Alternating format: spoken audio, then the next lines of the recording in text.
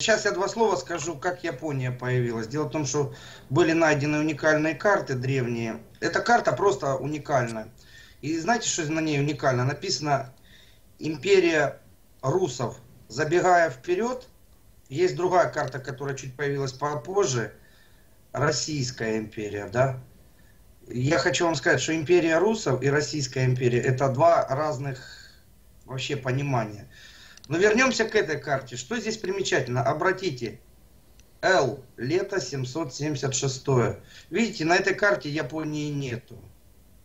Здесь только остров Сахалин и все, и game over. Кстати, не, вы не найдете вот этих островов на современных картах, а они есть.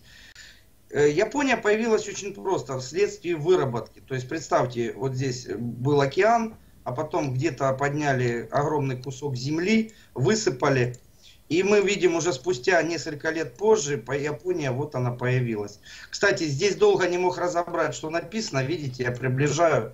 Не видно надписи. Мне пришлось найти в интернете, где надпись видно. То есть здесь уже не L идет, она нас обманывает, то есть единица. То есть думайте, летоисчисление было абсолютно другое. Вот, здесь уже Япония есть. И острова, те уже как бы исчезают.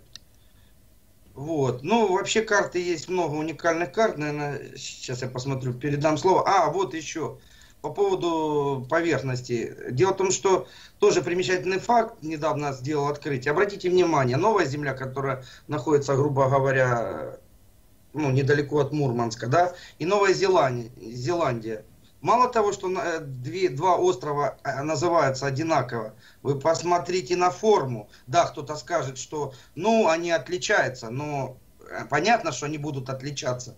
Так вот, и, кстати, новая, ну, новая земля, это Новая Зеландия есть.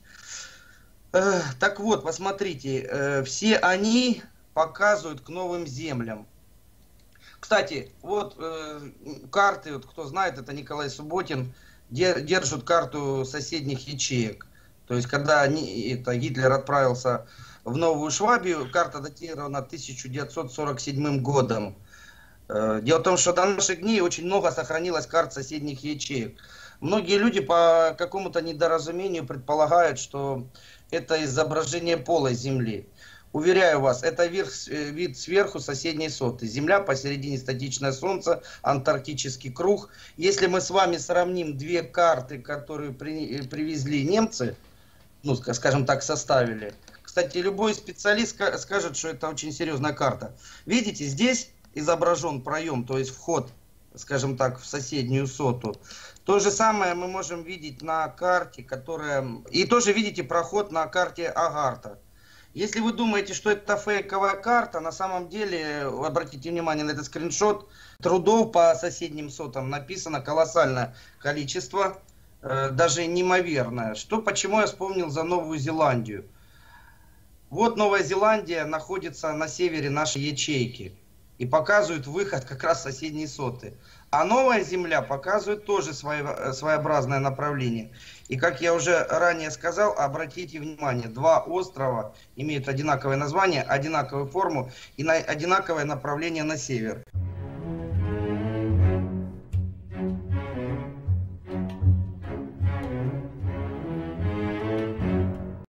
Кстати, Вячеслав Котляров у нас сегодня в студии. Он еще продвигает концепт сотовой Земли, более такую странную, можно сказать, продвинутую модификацию плоской Земли. И там уже, мне кажется, эксперимент более чистый, когда он а, когда он ее Не, Александр, я, я, я с тобой ну, согласен. Что он, с, он с нуля взял вообще, получается. Да, да, да.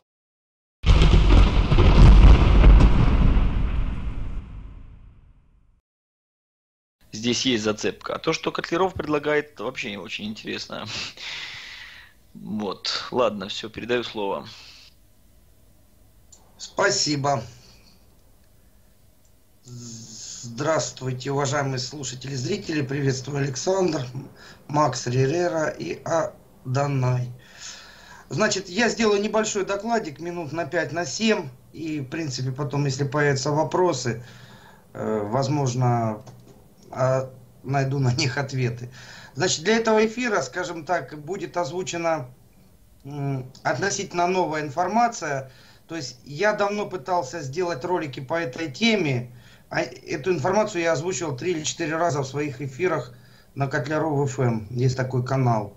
Вот. Но у меня не было никогда полноценного ролика, который я предпринимал попытки создать, но у меня ни разу не получилось. Поэтому ту информацию, которую я сейчас озвучу, она фактически будет это впервые на институте Б. Значит, начну я с демонстрации экрана. Кстати, краем уха услышал, что Котляров говорит, что мы живем на плоской земле. Никому не верьте, уважаемые слушатели и зрители, это, не знаю, ну, мягко скажем, шизофрения, то есть э, не может, так сказать, в нашей вселенной плоской поверхности существовать. Это просто какое-то нездоровое отклонение. Так, знаете, с чего я начну? Я где-то начну с середины и перейду в начало. То есть демонстрация сейчас пошла, да? Значит, в принципе, подходящую, ну, как бы не подходящую, а информацию, которая... Сейчас я тогда сам проверю. Ага, все, оно идет. Увидел. Дошла до наших дней, можно находить даже в древних писаниях. То есть э, наши э, чертоги имели определенные названия. То есть э, каждая народность давала скажем так, сотам для себя, как говорится, географические названия в масштабах нашей соты, в масштабах нашей огромной Земли. Значит, те, кто не знает, наша планета гигант, она в миллиарды раз больше, она подобна слоеному пирогу, слой земли, слой воды. Естественно, поверхность, на которой мы живем, она не может быть плоская. Наверное, давайте я продемонстрирую перед тем, как озвучу вот эту информацию по поводу Э, э, видите, чуть-чуть не совсем подготовился, приходится листать, надо было открыть мне отдельно. А, так, сейчас я буквально на секунду э, остановить показ. Видите, я просто, получается, листаю, и из-за этого никто ничего не может понять. Давайте я вам покажу именно максимально приближенную модель. Значит, вот, в принципе, что-то около того. Но это еще, как говорится, присказка. Значит, открываем. Открыть с помощью. Открыть с помощью. Э, значит, как ситуация происходит? Мы, мы живем на выпуклой поверхности. То есть дальше, дальше, дальше идет, как бы банально не звучало, или шар, или эллипс. Ну, скажем так, вот яйцо, вверху купол, внизу купол. Мы в яйце на желтке. В наших древних ведических сказках это подробно сообщалось. Даже та легендарная курочка ряба, кстати, описывает э, описание нашей соты. То есть бог Ур создал яйцо, потом разбили купол, вода полилась, потом бог Ур э, полубогам, дедушки и бабушки Э, создал уже как бы яичко такое нормальное, и они, скажем так, пасечники среднего порядка начали в этом яйце э, создавать мир. Вот. вот приблизительно это такая очень стилизованная схема, то есть сота, в соте находится яйцо, э, скажем так, и смерть Кощея в яйце тоже вам попозже. Вот примитивная форма как, как выглядит один кусочек нашей земли. Вот вам, пожалуйста, соты. Э, я понимаю, что многие смеются, но вы можете смеяться сколько угодно. А я, честно говоря, знаю, что еще 200 лет назад люди знали, э, даже дети, как истинное устройство. Вот даже на пчелином, на пчелином, скажем, варианте мы можем посмотреть это яйцо, и фактически мы, те, мы себя мним человеками, но мы ну, в лучшем случае мозги личинки или что-то около того. Ну, вот такая стилизация тоже кто-то грамотно нарисовал. Яйцо. Так, идем дальше. Кстати, сразу забегая вперед, наша гигантская планета в масштабах космоса, она выглядит приблизительно так. То есть, знаете, что сейчас на экране? Это пыльца под микроскопом. То есть кто-то смотрит на нас, вот наша планета со стороны, э, под микроскопом рассматривают нашу Землю. Мы такие думаем, мы огромные, великие, а на самом деле не все так просто.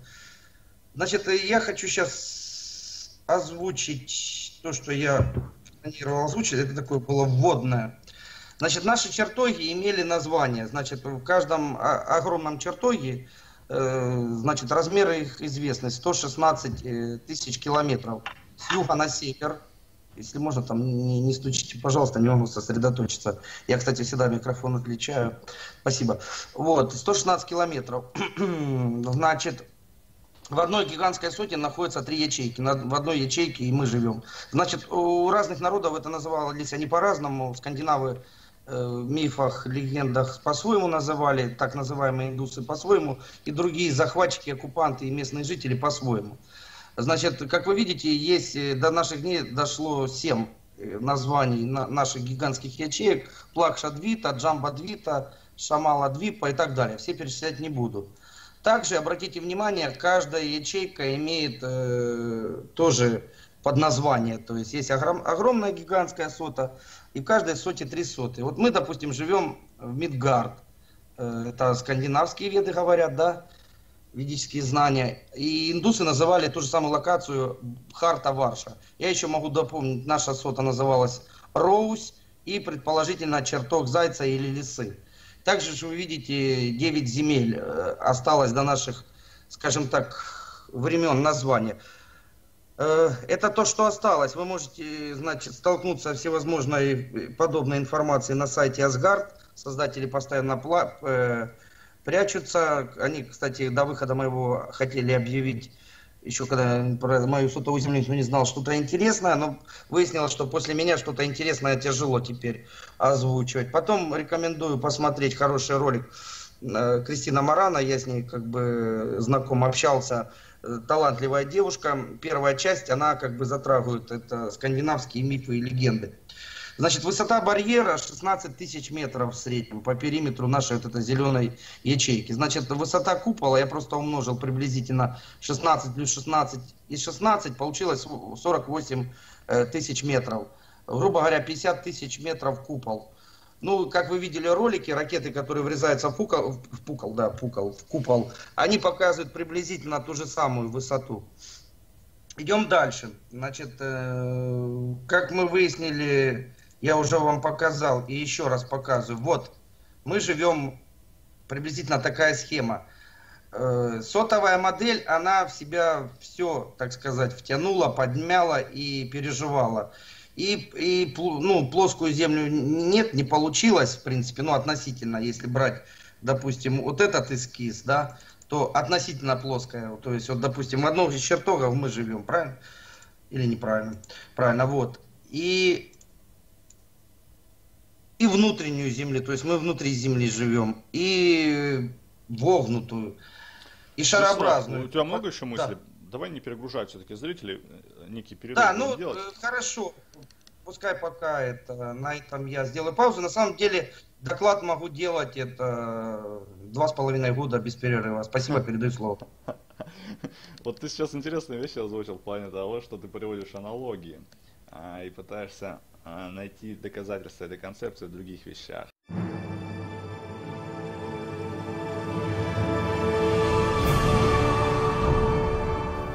Дамы и господа, у нас сегодня очередной выпуск Института Б. Сегодня у нас будет, скорее всего, конспирологический трэш.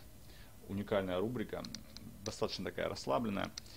А, запустился эфир с четвертого раза. Полчаса здесь какие-то глюки были. YouTube проседает, непонятно, что происходит матрица, видимо, совсем уже ушаталась. Нужно сделать передышку. Сегодня будем ее няшить. Сегодня у нас более легкий такой формат, менее серьезный. А, народ, пока расскажите что-нибудь интересное. Я тут донастрою все, что нужно, чтобы зрители понимали, какая у нас тема. И чтобы не Рассказываю. Да, я понял. Давай. Рассказываю, короче. Тема называется «Плоская земля». У нас сейчас будут... Э, я один остался, короче, из так называемых плоскомозглых, и меня сейчас будут, э, ну, по заказу матрицы, которую мы будем, как э, э, сказал Саня, няшить и ублажать матрицу будем. В общем, они меня разоблачат в край, потому что я тут один остался. Все больше не верят, никто не верит, говорят, ну все, нам это уже надоело.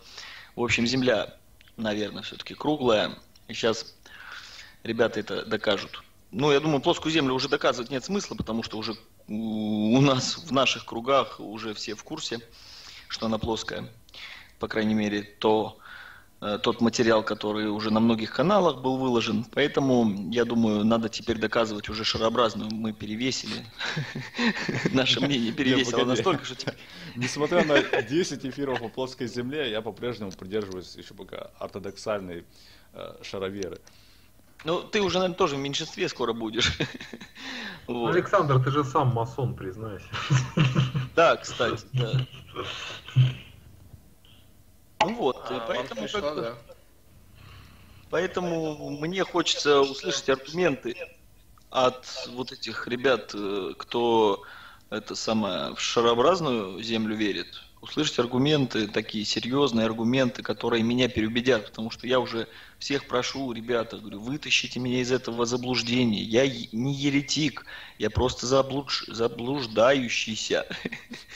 Вот спасите меня, пожалуйста, от этого. Это как я какой-то тоже в заговор в другой попал, видимо.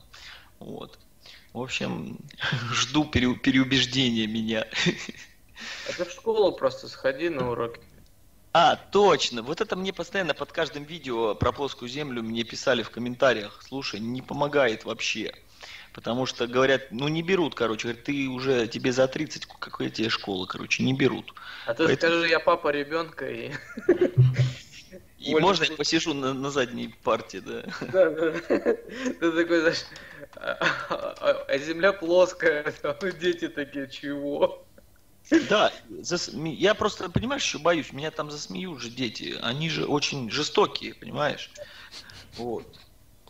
Они будут смеяться, говорить, да он вообще какой-то дурак. Это ж, это ж еще хуже секты. Вот эта плоск, плоская земля, это еще хуже секты. Скажут, слушай, он вообще, о чем он такое говорит? вызовут еще не скорую, понимаешь? Скажут, что ты вообще делаешь э, у детей на уроке. Поэтому, блин, как-то страшно. Придется вам все-таки это сделать, меня переубедить.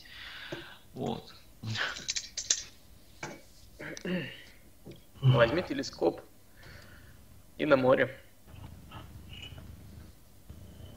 Так. Вообще это странная тема, и вот обсуждения эти, они тоже очень странные. Я могу рассказать про мистику плоской Земли. Все вот эти вот эфиры, которые я устраивал, они почему-то получаются несколько скомканными. Одна фракция всегда приходит в полном составе, но вторая тогда не появляется. Если приходят те, кто за плоскую землю, не приходят те, кто против нее. Просто а, есть вот, ну, официальные всякие ученые, они, они, понятно, за круглую землю, но они не воспринимают аргументов, они не знакомы вот с этой терминологией а, и аргументацией тех, кто против плоской. Ну, я, по-моему, видел видео Катюшика, который, по-моему, даже он с инсайдером общался, и он, в общем-то, очень ловко парировал его аргументы в сторону да. Земли. А вот есть продвинутые ребята, которые понимают, ну, то есть знакомы с этой аргументацией, они могут их опровергнуть, но они почему-то, если и хотят выступить на эфирах, то не получается их вместе соединить. Они приходят либо за, либо против. Причем вот пачками. Вот несколько человек их заявило желание сейчас разоблачить а, в очередной раз плоскую землю, но они а, типа говорят, придем, когда будет официальное собрание всех аргументов, чтобы всю вот эту коллекцию а, сразу Чтобы сплощать. добить, добить напоследок. Нет, просто почему я, почему я заинтересовался вообще теорией плоской Земли, потому что я о ней услышал года два назад впервые на Ютубе, я тогда от нее отмахнулся, ну, какие-то поехавшие, думаю, все там лайки собирают, блин, просмотры. А потом уже у тебя вот в прошлом году увидел пару эфиров и понял, что, в общем-то, заболевание начинает распространяться уже как эпидемия. Вот, эти все плоскоземельщики. Вот. Я, конечно, могу много приводить доводов против плоской земли, но я просто приведу один такой, такой как все-таки гуманитарий по складу ума. Дело в том, что теория шарообразной земли, она объясняет все, вообще все смену дня, ночи, времен года и так далее. Да? То есть там все логично и все понятно. А теория плоской Земли, она задает больше вопросов. Причем даже если мы возьмем теорию Котлерова, да, вот эта вот сферическая там, сферическая Земля, на которой много плоских земель, да, вот там создает очень много вопросов. Вообще, какое место занимает Солнце, Луна в этой системе? Если, как говорит Котлеров э, Солнце и звезды искусственные, ну, из чего они сделали, кто их сделал, понимаешь? И эти теории, они вот на эти вопросы ответов не дают, вообще не дают, понимаешь?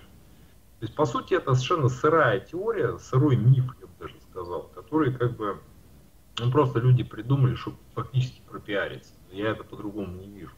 Ну да. Вот. вот. Ну, а ну нет. Почему нет? Ну, потому что нет. Что нет? Я не согласен. Нет, это понятно, но понимаешь, я, я просто подхожу с позиции, мне интересно вообще из-за чего возникла эта теория плоской Земли. Что, что значит из-за чего? Ну вот ты говоришь, что теория шарообразной Земли может объяснить все. А почему? Потому что ну, нас так научили.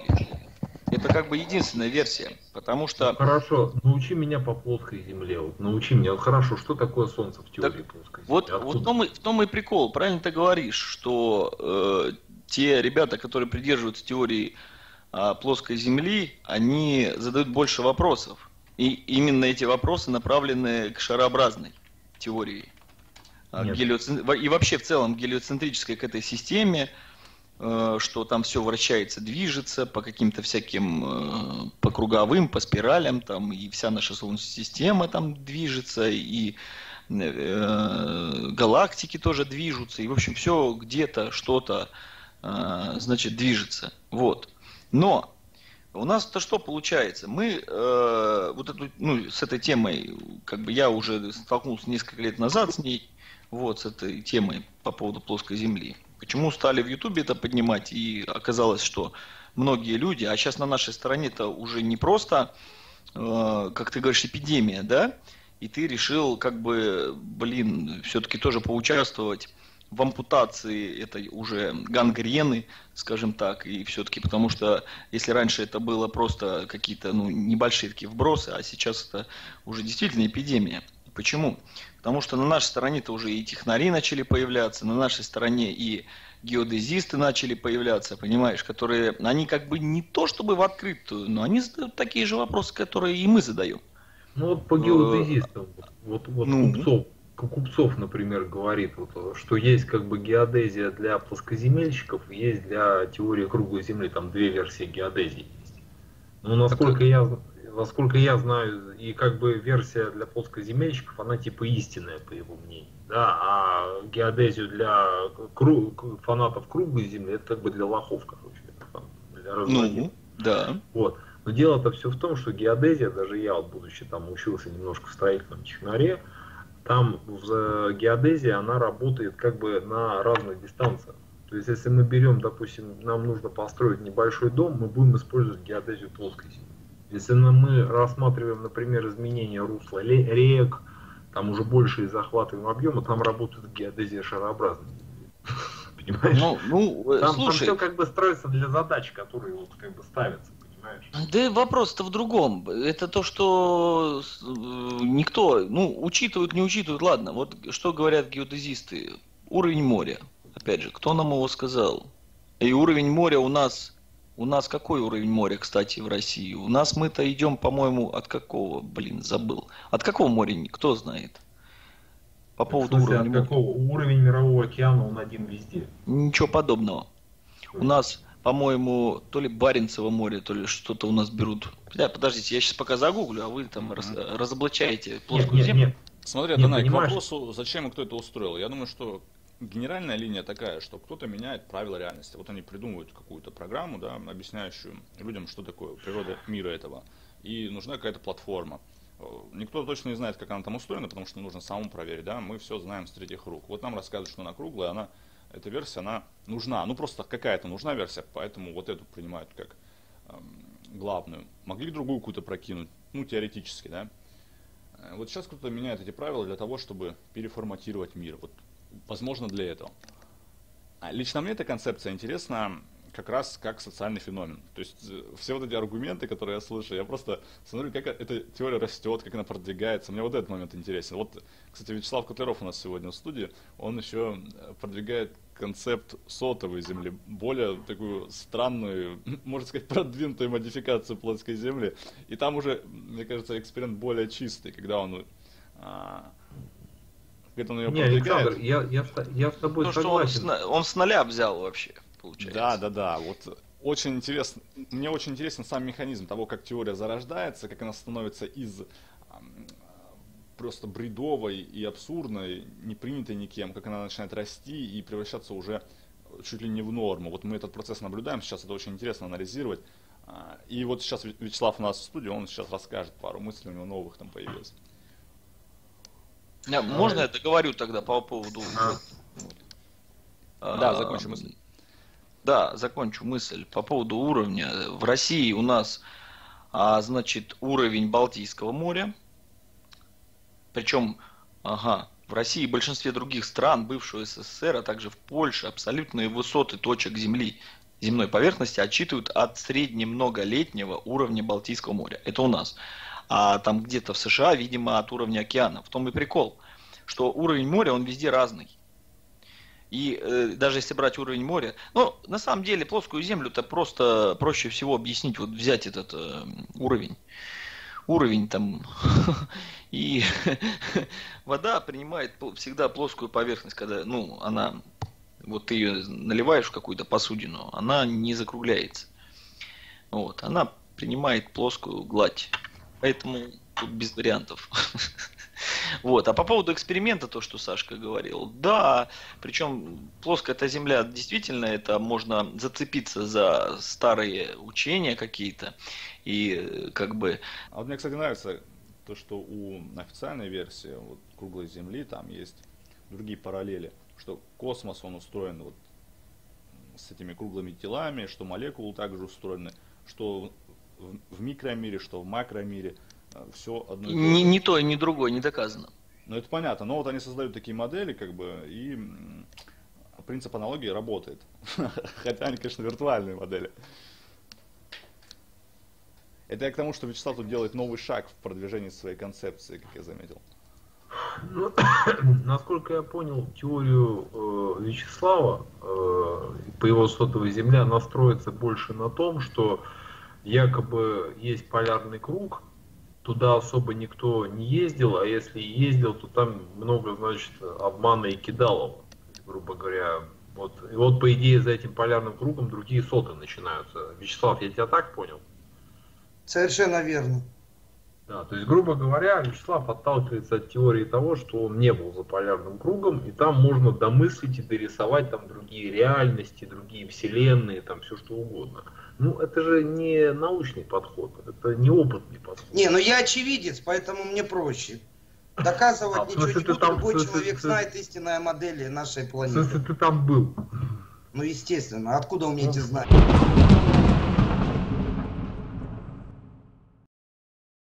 Ну что там у нас? Э, сотовая земля, а Котлерова нет уже, да?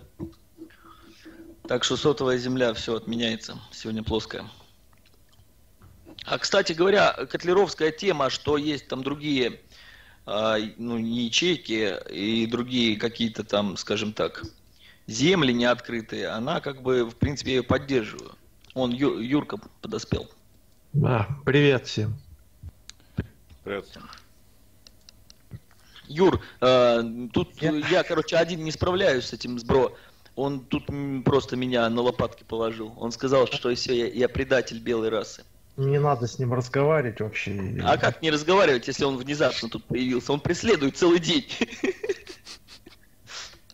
Итак, я маленько посмотрел эфир в начале, да, я слышал тут, что якобы плоская земля это полный бред. Я правильно понял? Ну, в общем, да. А, на каких основаниях сделано такое утверждение, если я могу сказать, что шарообразная Земля на данный момент это полный бред?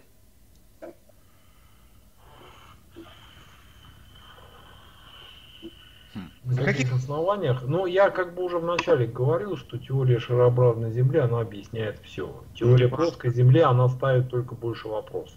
Шарообразная Земля, она не объясняет ничего абсолютно. Ну, ну банально смена дня-ночи хотя бы, а вполне внятная. А, давайте я сейчас кое-что покажу, что противоречит полностью шарообразной Земле. Я открываю демонстрацию.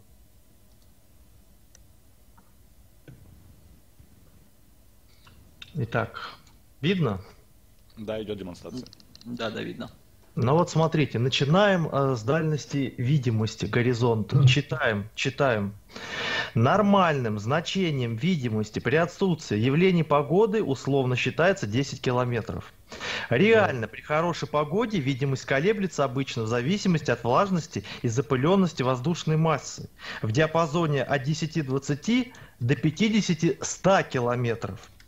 В очень чистом воздухе, например, ар- арктического происхождения, дальность видимости может достигать 150-200 километров. Это официальная информация. Открываем калькулятор кривизны Земли. Переводим на русский для тех, кто не понимает.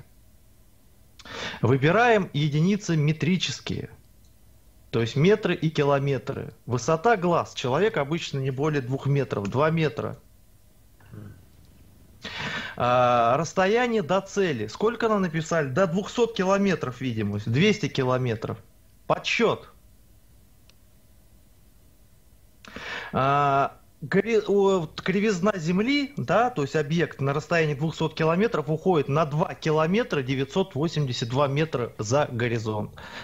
Ни о какой видимости с 200 и 100 километров речи идти вообще не может. Это чушь собачья. Понимаете? Это официальное, э, то есть подсчет, то есть конкретно показ. Земля выпуклая сфера радиусом 6371 километр. Если мы поставим 100 километров дальность видимости, то мы получим 777, э, 707 метров вниз, скрыто за горизонтом. Мы не можем видеть до 100 километров, это полная ересь. Идем дальше.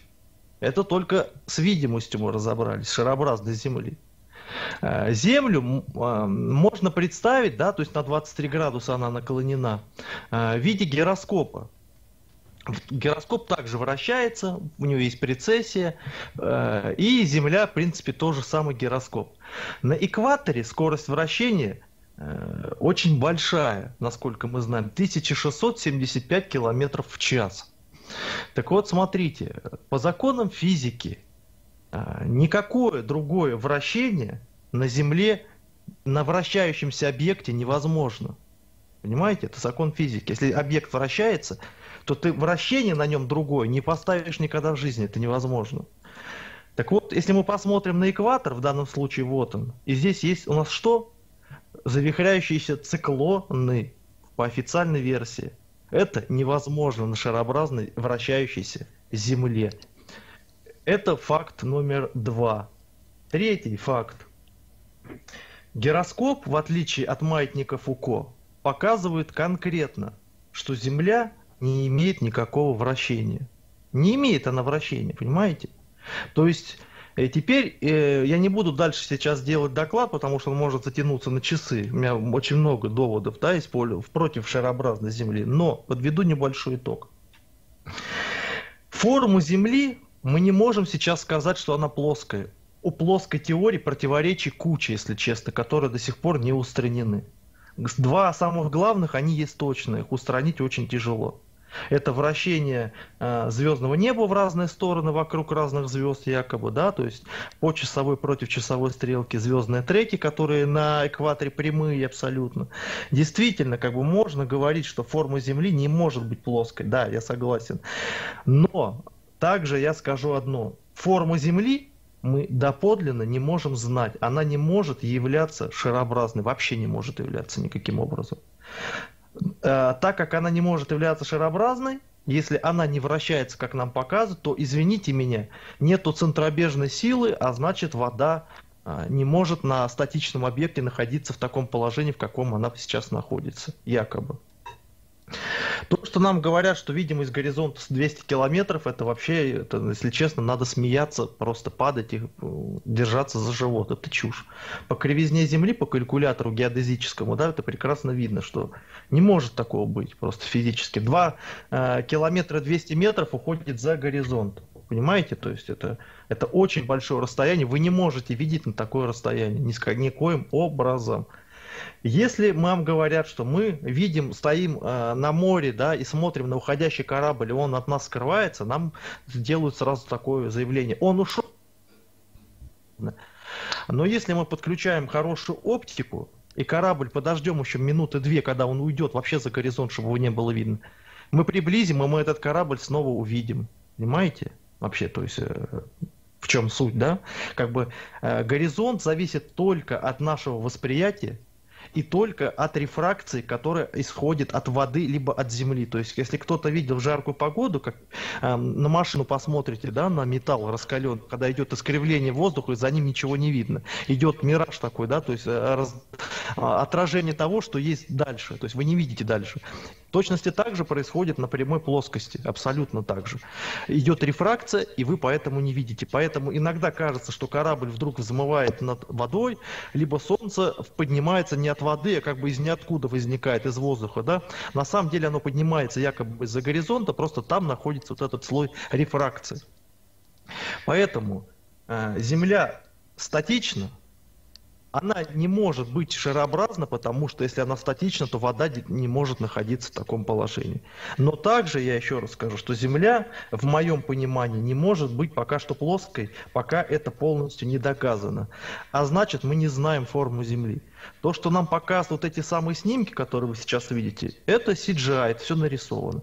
Если мы возьмем ранние снимки, да, вот смотрите, это более-менее современный снимок, там где-то 2012 года, то вот этот снимок сделан ранее. То есть разве есть что-то общее между вот этой землей и вот этой землей? Да? То есть эти снимки все мы можем найти на официальном сайте НАСА. Поэтому ни одного достоверного доказательства того, что э, Земля шарообразна, у нас нету ни фотографии, ни съемки с МКС вообще не котируются никоим образом. Потому что э, я недавно нашел новое видео в 4К качестве, которое сделано там астронавтом Джефф какой-то, там не помню фамилию. Я там могу конкретно показать, что это чушь собачья, потому что там видно, это вообще до такой степени обнаглели, они не анимировали облака, они, не, они, они сделали так, что шов текстуры, видать, где-то сходится, вообще шов, швы с текстуры, это вообще шок просто, когда это увидел в наглую, потому что 4К качество, да, благо у меня есть 4К э, где посмотреть, да, телевизор в 4К, поэтому прекрасно все видно. Это можно увеличить все и посмотреть. То есть швы текстур даже наложение видать. Поэтому, извините, но никто не может сейчас говорить, что Земля точно шарообразна, она все доказывает. Нет, к сожалению, это не так. Так же, как она не может пока, в моем понимании, являться плоской. Пока что все. Ну, понимаешь, Юрий, я не знаю, у меня довольно много знакомых как матросов, так и летчиков, и, в общем-то, с их слов там даже на очень хорошей оптике там видно, в общем-то, и эффекты искривления поверхности мирового океана, то есть там уходит из-за горизонт, все с их слов, по крайней мере. И летчики постоянно. То есть, понимаешь, если бы Земля была плоской, мы бы видели визуально даже вот без приборов, там, без подзорных труб и биноклей, мы бы видели, в общем-то, на гораздо больше, чем мы можем увидеть. Гораздо Я больше. Только, только что сейчас объяснил, с чем это связано. Это рефракция. Ты не можешь видеть дальше э, положенной рефракции, потому что... А, ну да, да, да, там плотность воздуха, там вода, да. жара, все, никогда, все. Никогда, никогда в жизни это не увидишь. Теперь да, опил... дай, дай добавлю еще, Юр, дай добавлю. Тут вопрос еще вот по поводу видимости. А если у тебя там летчики есть, ты у них спроси, э, по какой карте они летают. Они летают, вот эта азимутальная проекция, это, по сути, есть карта плоской Земли. Это первый момент. Второй момент по поводу видимости. Видеть ты в силу ограниченности зрения как раз не сможешь. Но когда ты поднимаешься на высоту, там в космос, неважно, или на, ну, на самолете летишь, у тебя горизонт всегда на уровне глаз, на уровне зрения. И это э, свойственно только как раз-таки плоской поверхности, а не шарообразной. Ну, это вот из реальных тех видео, которые мы наблюдаем. Я не говорю там о том, что у нас Роскосмос, НАСА, у них э, она закругляться сразу прям начинает почему-то Земля, и понятное дело, что там GoPro камеры и все такое, да, линза искривляет. Но вот то, что мы наблюдаем, везде горизонт на уровне э, глаз. То есть он как бы поднимается по краям, горизонт с тобой поднимается. И это говорит о плоской поверхности как раз. Ну, ну это понимаешь, в чем дело? В этом случае, если бы была реально плоская поверхность, мы бы реально видели бы больше. Тем не менее, там фактически мы видим ограниченный объем, если мы поднимаемся высоко. Понимаешь? Ну, э, почему, э, почему мы должны видеть больше, объясни. Вот. Потому что это плоскость, потому что там не, не, нет искривления. С другой стороны, ты пойми, искривление, допустим, искривление Земли учитывают даже наладчики антенн спутниковых, понимаешь? То есть даже они учитывают. антенны это вообще интересная тема. Ну, а, это... да, они там, они там все масоны, да, они повязаны. Нет, почему? Почему? Нет, это. Это я могу сейчас объяснить, почему э, настройка спутниковых антенн на спутник это ересь полнейшая, понимаете? Это просто надо маленько включить логику свое мышление, да, и просто представить, что это такое. Сейчас скажу про это попозже маленько, да. Вот Насчет... я тебе приведу, вот я тебе приведу пример. У меня вот товарищ один с Норильска, вот я общался с одним, а у них там в Норильске до сих пор проблемы с интернетом. И у них э, для того, чтобы даже на сотовом телефоне выйти, они покупают спутниковую тарелку, подключают ее к телефону и ждут, когда пролетит, мимо спутника.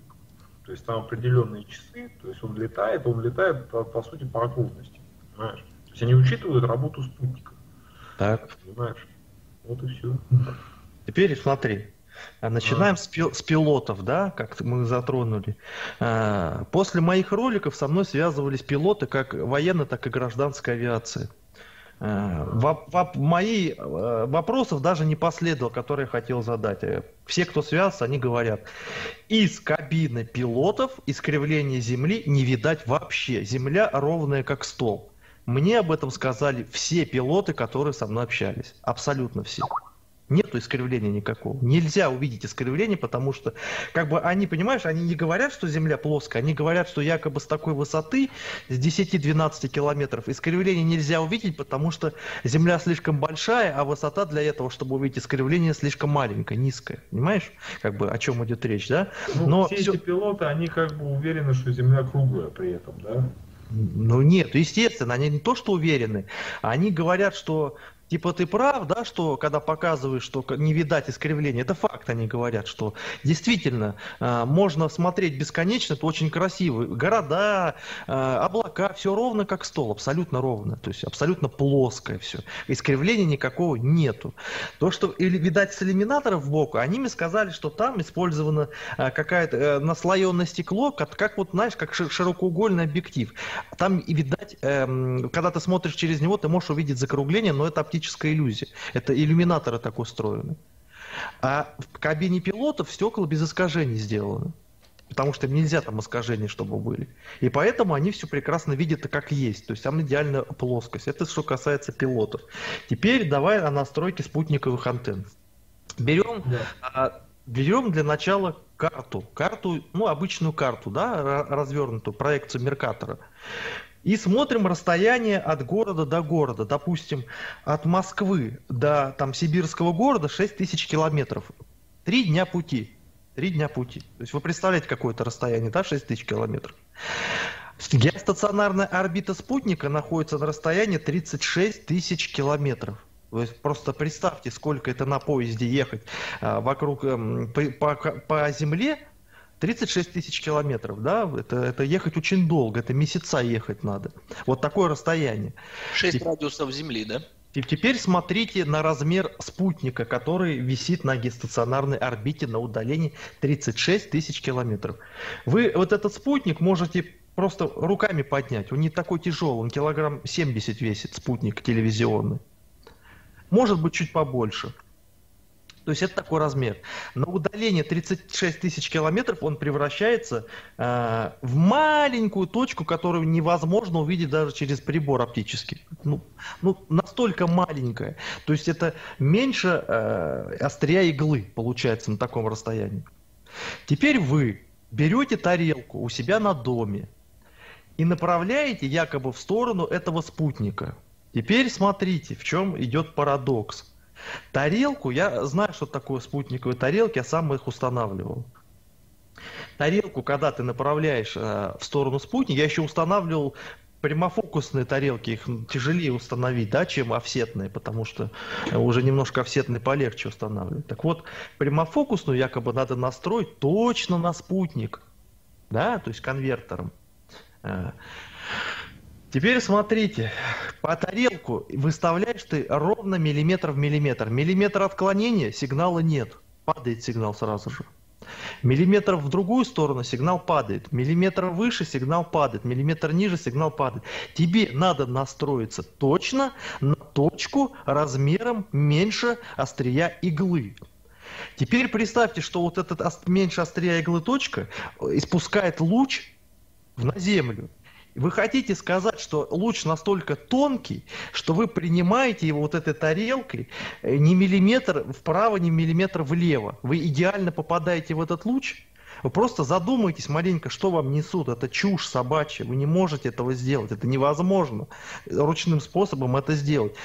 Ручным способом вы это бы никогда не сделали, только с помощью точнейшего прибора, который измеряет градусы до миллиметра, до сотой доли до пятого числа после запятой. Понимаете, о чем идет речь? Вручным способом вы бы это никогда не сделали. Спутник, э, спутники на геостационарной орбите – это фейк. И здесь об этом говорить даже нельзя. Это чушь. Вы бы никогда... Какие, каким способом приемные антенны работают? За счет чего? Есть такая штука, ты можешь почитать об этом, спросить у связистов, называется тропосферная связь. При помощи тропосферной связи и вышками, которые располагаются на Земле на удалении 100-150 километров, вы можете сигнал через тропосферу передавать полностью на любое расстояние, куда только захотите. Абсолютно хоть куда. Именно поэтому вы можете направить на тропосферу тарелку и поймать сигнал. Потому что пучок не такой тонкий, как шел бы от спутника с 36 тысяч километров. Вы можете это поймать. А, а то есть со... ты хочешь сказать, что чисто связь идет за счет вышек, да? То есть даже не за счет спутников, да? Ну, если ты посмотришь, в каком году появилось в Америке спутниковое телевидение, ты поймешь, что в то время Просто невозможно было обеспечить Америку такими спутниками, чтобы ловить там 150 каналов. У них уже в 60-х годах были спутниковые телевидения и даже телевизоры на пультах в то время были. Кстати говоря, по поводу геостационарной орбиты. Самый прикол там был в том, что еще эту теорию выдвинули, что якобы вот на каком-то удалении по, по экватору, значит, э, спутник, не удаляясь, ну, как бы компенсироваться будет, и он будет над одной и той же точкой Земли, как бы зависать, да? Эта теория была выдвинута там какими-то теоретиками. То есть на самом деле на практике этого никто не изучал, а потом хренак и сработало. Теперь вдруг это стало практикой. Вот и все. Теперь смотрите, что такое геостационарная орбита. Если мы посмотрим на анимацию э, вот этих спутников, то они, получается, находятся своеобразным кольцом вокруг Земли. То есть это точка невозврата, то есть объекты на ней повисают и практически всегда висят над тем местом, над которым их повесили. Из изредка якобы орбиту корректируют двигателями, да? чуть-чуть, и то на градус там, это раз там, я не знаю, в год или в полтора года. Что такое, по сути, геостационарная орбита тогда? Да? Это кольцо. Мы можем увидеть этот пример на Сатурне. Вот кольца Сатурна – это геостационарная орбита. Теперь э, представьте, сколько лет Земле, миллионов лет. Если бы геостационарная орбита существовала в реальности, то вокруг Земли на этом месте давно было бы кольцо из пыли, из кусочков метеоритов, как нам говорят, падали метеориты множественно раз, а даже катастрофу вызывали, да, якобы там официальная история, которая стерла с лица Земли динозавров. Эти бы кусочки, когда поднялась, поднялась бы пыль, в атмосферу, да, и которые разлетелось бы, а, когда мелкие, большие фракции атмосфер, э, метеоритов входили в атмосферу, эти бы кусочки не вошли бы в атмосферу, они бы полетели туда, на геостационарную орбиту. И за это время, за миллионы лет, вокруг Земли должно быть точности такое же кольцо, как на Сатурне. А если его нет, то геостационарная орбита, извините меня, это чушь. Проверяется все очень легко. Спасибо, Юр. Но это, видишь, это только человеки могут понять, иногда люди. Э, дело в том, что смердам это не под силу, потому что мозг, к сожалению, так устроен. Видите, как поменялось. То есть в наши времена, как говорится, когда человеки тут все заправляли, можно было нормально общаться, и смерды молчали. сейчас я два слова скажу, как Япония появилась. Дело в том, что были найдены уникальные карты древние, Значит, я, кстати, с интернета скачал разрешение, вдумайтесь, 17 тысяч на 8 тысяч. Но я сейчас буду чуть поменьше, потому что показывать. Хотя там безумное разрешение. Так, сейчас я... Демонстрация экрана. Значит, э, как появилась Япония? Смотрите, во-первых, эта карта просто уникальная. И знаете, что на ней уникально? Написано «Империя русов Забегая вперед, есть другая карта, которая чуть появилась попозже. Российская империя, да? Я хочу вам сказать, что империя русов и Российская империя это два разных вообще понимания.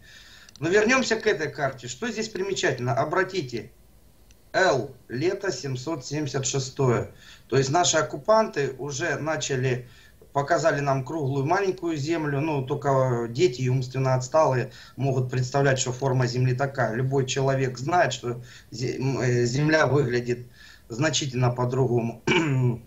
Ну, сейчас не про это. Как Япония появилась? Видите, на этой карте Японии нету. Здесь только остров Сахалин и все, и game over. Кстати, не, вы не найдете вот этих островов на современных картах, а они есть. Кстати, море называлось э, Нигер, Нигрум море, то есть, скорее всего, тут э, негров топили. Прошу прощения за такой черный. Вообще, Колом... Нигреда с латыни, насколько знаю, это черный. Ну, я иронизирую. Понятно, что черная, но да, дело не в том. Да кстати, для тех, кто переживает э, про Украину, видите, тут на карте написано Украина. Правда, она была с размера Харьковской области, но ничего страшного. Не про Украину я хочу говорить. Дело в том, что вся наша ячейка 200 лет назад принадлежала человекам, э, белорозовым, э, потомкам белой великой расы. Япония появилась очень просто, вследствие выработки. То есть, представьте, вот здесь был океан, а потом где-то подняли огромный кусок земли, высыпали, и мы видим уже спустя несколько лет позже, по Япония, вот она появилась. Кстати, здесь долго не мог разобрать, что написано. Видите, я приближаю, не видно надписи. Мне пришлось найти в интернете, где надпись видно. То есть здесь уже не L идет, она нас обманывает, то есть единица. То есть думайте, летоисчисление было абсолютно другое. Вот, здесь уже Япония есть. И острова, те уже как бы исчезают. Вот. Ну, вообще карты есть много уникальных карт. Наверное, сейчас я посмотрю, передам слово. А, вот еще по поводу поверхности. Дело в том, что тоже примечательный факт, недавно сделал открытие. Обратите внимание, новая земля, которая находится, грубо говоря, ну, недалеко от Мурманска, да, и Новая Зеландия, Зеландия Мало того, что э, две, два острова э, называются одинаково, вы посмотрите на форму. Да, кто-то скажет, что, ну, они отличаются, но э, понятно, что они будут отличаться. Так вот, и, кстати, новая, ну, новая земля, это Новая Зеландия есть. Так вот, посмотрите, э, все они показывают к новым землям. Кстати, вот э, карты, вот, кто знает, это Николай Субботин, держат карту соседних ячеек. То есть, когда они, это, Гитлер отправился в Новую Швабию, карта датирована 1947 годом. Э, дело в том, что до наших дней очень много сохранилось карт соседних ячеек. Многие люди по какому-то недоразумению предполагают, что это изображение полой Земли. Уверяю вас, это вид, э, вид сверху соседней соты. Земля, посередине статичное Солнце, антарктический круг. Если мы с вами сравним две карты, которые при, э, привезли немцы, ну, скажем так, составили. Кстати, любой специалист скажет, что это очень серьезная карта. Видите, здесь изображен проем, то есть вход, скажем так, в соседнюю соту. То же самое мы можем видеть на карте, которая, сейчас, Агарта, да, Сейчас, сейчас, сейчас, три секунды. Видите, немножко не был готов так спонтанно. А, вот, то есть, э, и тоже видите проход на карте Агарта. Если вы думаете, что это фейковая карта, на самом деле, обратите внимание на этот скриншот, э, трудов по соседним сотам написано колоссальное количество, даже неимоверное. Что, почему я вспомнил за Новую Зеландию? Вот Новая Зеландия находится на севере нашей ячейки и показывает выход как раз соседней соты.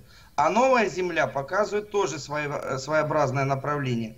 И как я уже ранее сказал, обратите внимание, два острова имеют одинаковое название, одинаковую форму и на, одинаковое направление на север.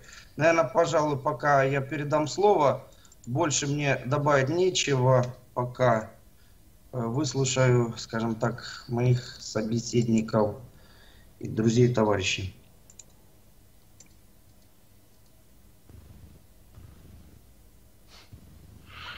То есть получается, то есть вы хотите сказать, что спутники это все фейк, Значит, это все хорошо. А как тогда э, описать, ну, как тогда объяснить то, что в Роскосмосе, вообще вот в этой индустрии космоса, в частности в нашей стране, работает очень много людей? Они что? Да, очень, очень просто объясняется. Вот смотри, э, допустим, полеты на Марс, как по твоему мнению, э, существуют они или нет?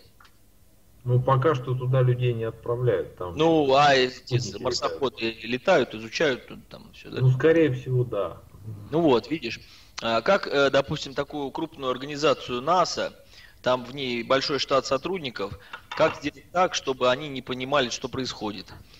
Отправляем, допустим, этот э, марсоход э, куда-нибудь там на остров Гренландию, не знаю, там в Антарктиду, неважно где, мерзлота и где при, примерно рельеф похож на поверхность Марса и вещаем оттуда сигнал. Там, ну, я, ребята... я, я слышал, слышал эту теорию, там ну, потом через световые смотри, фильтры пропускаем. Еще, там...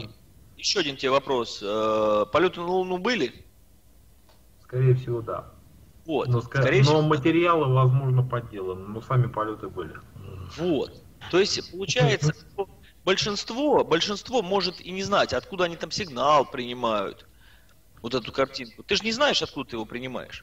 Ну вот хорошо, вот у меня, допустим, много знакомых, лично знаю людей, которые служили и работали на Байконуре. То есть они пуски ракет сами делали. Пуски ракет есть, никто с этим не спорит и не отрицает. Вопрос в том, что ты никогда не задумался, почему вот этот Байконур, э, все это там где-нибудь в степях э, находится. В степях. Ну, потому что, во-первых, это опасные зоны, там могут быть радиоактивные заражения, взрывы. Ну да, чтобы было место, чтобы ракета, э, она взлетает и она падает. Она, кстати, в поле зрения начинает э, менять траекторию. То есть она mm-hmm. на уровне там даже где-то самолета, наверное, вот самолет уходит за облака, его уже не видно. Падают, а... как правило, ступени от ракеты. Вся ракета, то носитель, она вылетает на орбиту. Предположим, предположим как одна из версий. Вот а, есть же еще и другая версия, наша версия, что они их запускают, эти ракеты, и они там где-то в степи падают. Неправильно ты говоришь, для безопасности сделано на больших таких территориях, где можно безопасно эту ракету уронить потом. И все. То есть и вот так вот действительно их запускают, эти ракеты. Ну вот я, я тебе приведу пример. С Байконура выкидывали раньше ракеты многоступенчатые. У них зачастую ступени падали в районе, ну, в районе Дальнего Востока, например. Просто были случаи, когда там таежники ходили по тайге и от, в этих ступенях ночевали. Ну, что ж, там дождь переждать ночью и так далее. Потом ловили, правда, лучевую болезнь и умирали. Потому что, в общем, ну, вот, радиация. Да, вот, как бы это много случаев таких вот, как бы вот. Ну, как бы сам посуди, то есть ракета взлетает. Жизнь не готовила. Тут мало того, что радиация опасна, и люди от лучевой болезни умирали в ступенях в тайге, так еще и космос существует, оказывается. Блин, ну ребят, что вы со мной делаете? Поэтому, как бы, не знаю. Ну, понимаешь, держать целую индустрию ради того, чтобы там ракеты взрывались. Это же бизнес, это, это деньги, это прибыльный бизнес. Ну, не знаю. Это, это, это, понимаешь, это теория, как, понимаешь, я могу понять, что очень много фейка с НАСА, с Байконура э, на, и так далее, что они могут под этим что-то скрывать другое. Я вот в это поверю. Здесь Вполне даже... может быть, ничто же не отрицаем. Вот, но то, что это вообще фейк, и никто никуда никуда не летает, ну это, блядь, бред вообще, я считаю. Вообще они полный. скрывают, они скрывают плоскую землю, купол, аквариум, я не знаю, матрицу. Они могут и это скрывать. Почему нет? Ну, это они вряд ли скрывают, потому что этого нет. Но а ну, почему, кстати? Ну, а почему? Понимаешь, э, вариант... А вот скажу, а нет шарообразной Земли и вообще этой всей гелиоцентрической системы, э, ну, в вашем представлении, ее не существует. Вот. Но это же голословное утверждение. Вот. Ну, как бы, понимаешь, теория плоской Земли с искусственным Солнцем, вот, вот даже вот Юрий даже сейчас вот высказался, говорит, что скорее всего Земля плоская, но не круглая. То есть, скажем так, стопроцентных данных-то нет, что она плоская. Так э, никто ж не спорит, и, и я много чего говорю. Я, я не говорю, э, откуда я знаю, какая она. Вопрос в ее стационарности, как бы для меня практически решенный. Что она стационарна и ничего никуда не вращается, не движется, не крутится и не вертится. Вот, вот с этим, да, стационарность. Ну, хорошо. То есть ты хочешь сказать, что если бы она крутилась, нас бы там сносило ветром или еще что-то, да? да почему ветром? Ну, у нас какие доказательства вращения? Маятник Фуко и все. Ну, как бы да. А маятник Фуко, сам понимаешь, это подделать, расплюнуть. Они же их и снимали потом, чтобы это попы не доказывали, что Земля плоская.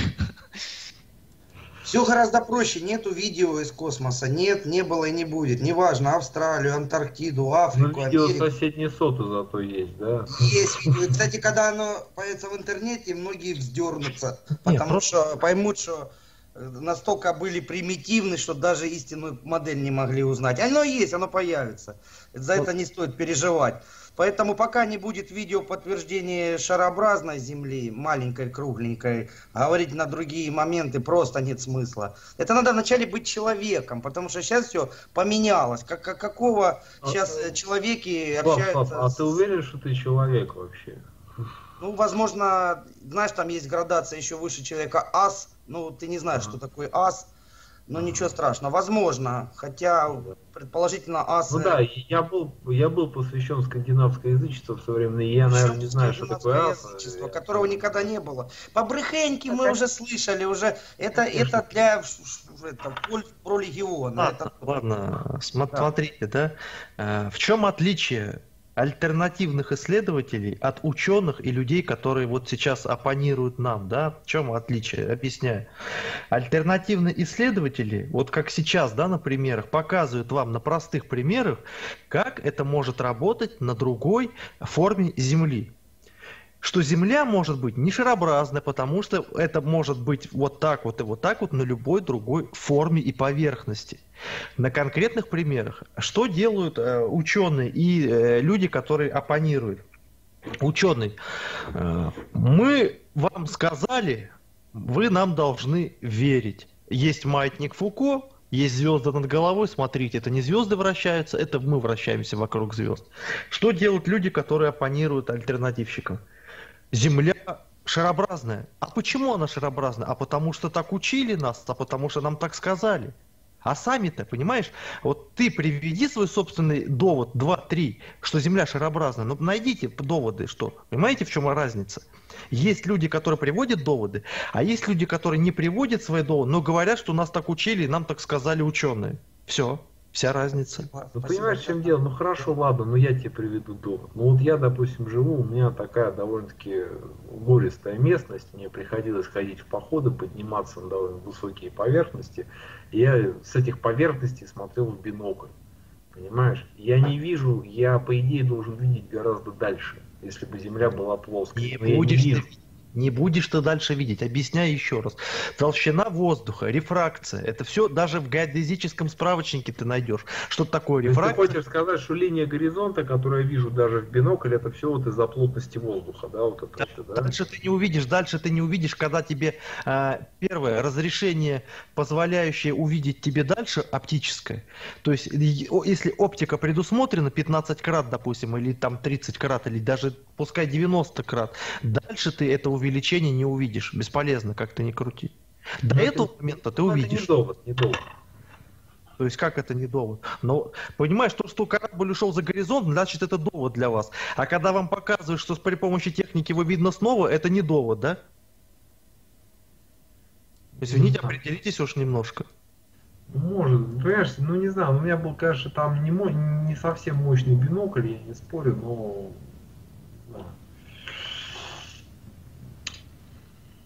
Ну, это примерьте, пожалуйста, Луна, якобы, да, она там м, 4 раза меньше Земли, а, на расстоянии 387 тысяч километров от нас. Глазами ты видишь ее одну, да, то есть ты вот видишь ее, она там а, черно-белая, там, или она там э, бледная такая, бле- бледный свет, да, но если ты возьмешь бинокль, ты уже увидишь, что Луна, она уже имеет цвет какой-то, она такая желтоватая становится, ты можешь увидеть крупные кратеры там. А если ты возьмешь телескоп, то ты увидишь, что Луна на самом деле рыжая, она оранжевая. И ты можешь увидеть мелкие кратеры там. То есть это все зависит от разрешения. Но ты не увидишь флаги, которые оставили там американцы. А если бы ты, допустим, да, ну опять-таки официальную версию беру, конечно, это все чушь, если честно. Американцы не могли быть на Луне. Если ты увеличишь сильно, да, к примеру, если у тебя будет хороший телескоп там, не знаю, там, как Кеплер или как якобы там Джеймс Уэбб, новый телескоп, который заявляет край Вселенной, они скоро увидят, там зарождение, большой взрыв смогут увидеть, то ты увидишь при, при помощи такой разрешающей способности там уже э, еще больше, большие кратеры. Но ты флаг все равно не увидишь, это невозможно, потому что э, они слишком мелкие для любого телескопа, любого диаметра, то есть невозможно это увидеть, понимаешь? Тот же самое на Земле происходит. Дальше разрешающие способности оптики ты не увидишь. Из-за рефракции это раз. Из-за толщины атмосферы это два. Из-за того, что оптика просто на такую даль не сможет посмотреть.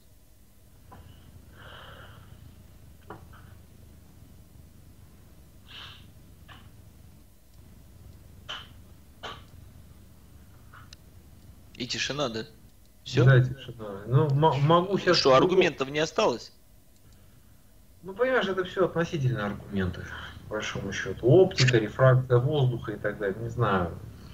Я тебе до этого в самом начале показал, что такое кривизна Земли. Вот эти факты разбирайтесь, идите потихонечку, и тогда начнете осознавать, что вам за кривизну Земли врут. Нет такой кривизны. Я не отрицаю, что возможно, она может быть э, чуть-чуть выгнутая, то есть форма Земли может быть какой угодно. Вот есть теория, что она как линза, да, то есть немножко выгнутая. С этой теорией я бы согласился, потому что это возможно при такой, э, при такой небольшом изгибе видеть объект на таком расстоянии. Вот только в этом случае я согласен, изгиб если есть, то он небольшой. Но так, так как нам говорят, такой изгиб он быть не может никоим образом. Вот. Кстати, как насчет подключить еще специалиста по кругу Земли, Александр? Да сколько уже только не подключали. И с астрономами общались. С кем только ни с кем. Заканчивается все тем же в конце, что идите в школу, либо, либо версия идите в школу, либо человек реально задумывается. И мы его перетягиваем к себе всех, ну страшно. А Дунай, ты какого-то конкретного человека имеешь в виду? Да, каштана можно подключить. Ну, если желающие есть, пишите в скайпе. Ну, как бы это...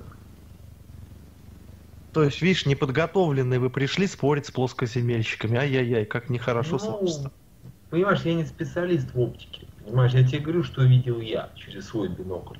Понимаешь? Ну, 90-кратную подзорную трубу, да я в нее не смотрел, не могу сказать. Понимаешь? Ну, у меня оптика 90 крат практически. 83 крата оптика. Поэтому я... как что это как так? бы... Вообще пара желающих поразоблачать плоскую землю была. И я вот думаю, они сейчас смотрят этот эфир, они соберутся с аргументами, и можно устроить батл такой масштабный через неделю или через две. А сегодняшнее можно видео рассматривать как некую такую перчатку, вызов. То есть мы второй тур в этом году начали по плоской земле, да? Турне. Слушайте, а, еще народ по поводу космических полетов, вот мне тут подсказывают. Э, скафандры, перегрузки, все дела, вот эта излюбленная тема Юры Тимовского. Вот это вот как раз тоже интересно. То, то что доказывает, что... Да и не только Юра, и вот Макс Алтарев мне тоже тут пишет, подсказывает.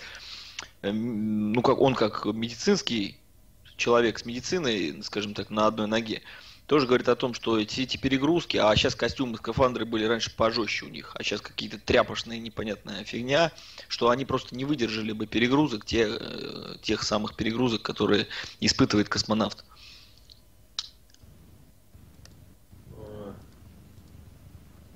Короче, нокдаун. Ну, смотри. В смысле нокдаун? Ты, ты о чем? Ну, ну, ну хорошо, см... вот допустим, летчики, вот, которые на военных истребителях летают, то есть как бы они не вылетают на орбиту, но у них как бы тоже перегрузки чумовые, и там, в принципе, даже и скафандры, в общем-то, это все держат. Вот. А про космические они там могут быть еще прочнее и мощнее. Нет, смотрите. На официальном сайте Роскосмоса вы можете найти, э, из чего изготовлен скафандр Орлан М нового поколения для выхода в открытый космос.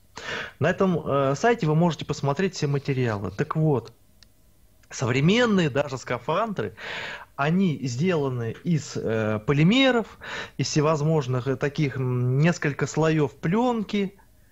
Никакой толстой защиты от радиации нету, ноль. То есть, ну, нету ради... от защиты от радиации. То есть, там просто ослоенный скафандр, вверху такая плотная ткань, которая не рвется, благодаря чему они могут несколько раз его использовать там для выхода в открытый космос. То есть, защиты от радиации никакой нет.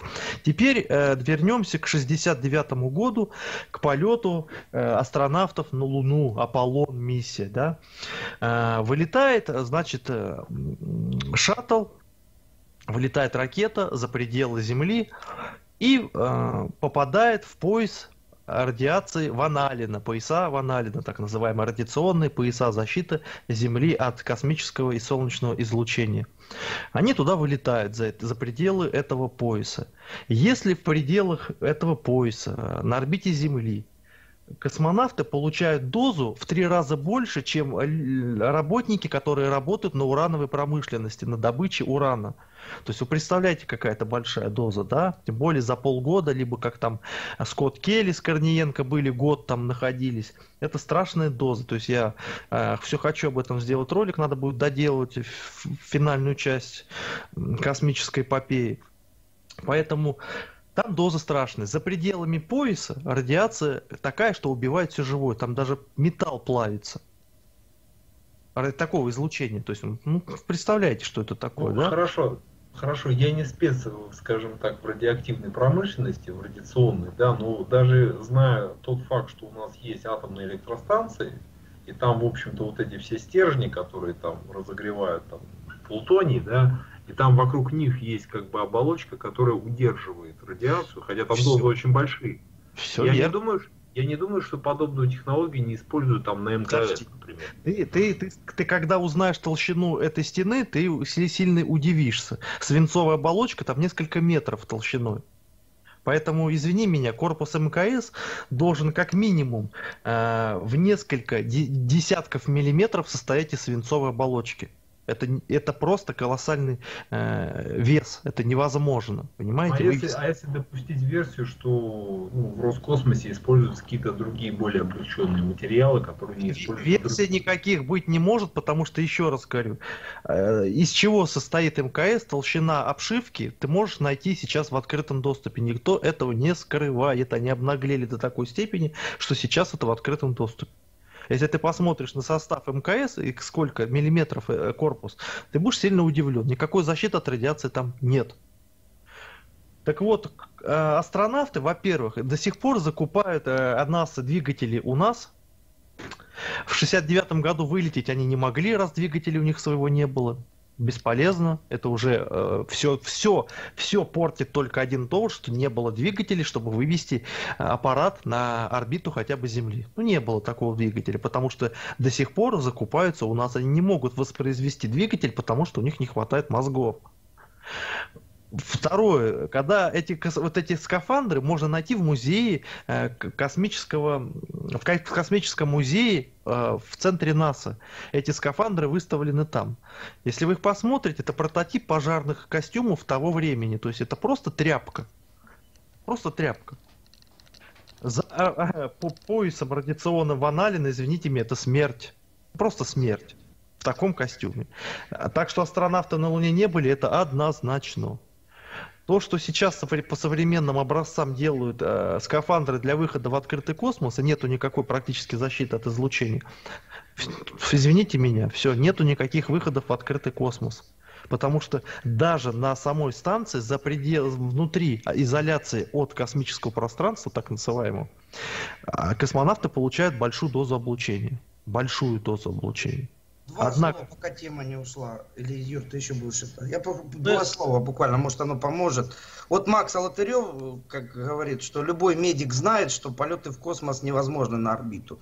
По той простой причине, что жидкость, которая находится в, легкой, в легких, она просто бы разорвала легкие и так далее. И вообще человека разорвала. То есть видели, когда они нам показывают, что шарик выдувают из баночки, и он, как говорится, летает. А человек же весь из воды, человек как бы просто разорвал. То есть любой медик это знает, но молчит. И человек, конечно, любой знает. Но люди, они как приходят, ну я в этом не разбираюсь, а в этом я не специалист, а этого не знаю, поэтому я передаю слово. Ну вот, теперь смотрите дальше, да, значит, с космосом разобрались, американцы на Луне не были однозначно.